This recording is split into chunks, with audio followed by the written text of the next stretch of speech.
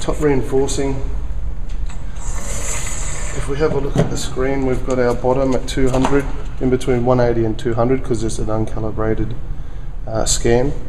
We've just got a post tension cable that we've just marked in red and we've got three top reinforcing bars.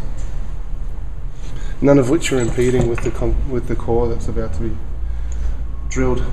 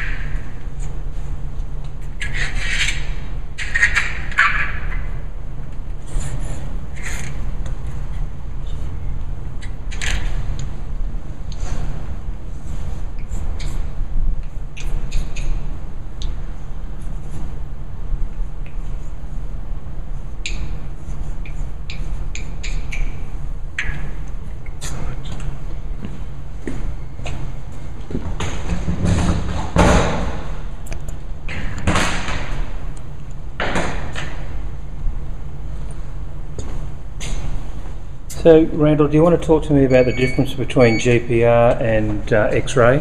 Um, well, for, for starters, concrete X-ray uses gamma. We don't use radiation. We use a radar, which is closer to a fish finder than anything else to explain it. Um, yeah, the radar sends out signals, and when it hits a target, that signal is cut off, and that's how we determine how far away the target is. Uh, and we just mark it on the floor and give them the safest possible way to cut core or rip up slabs.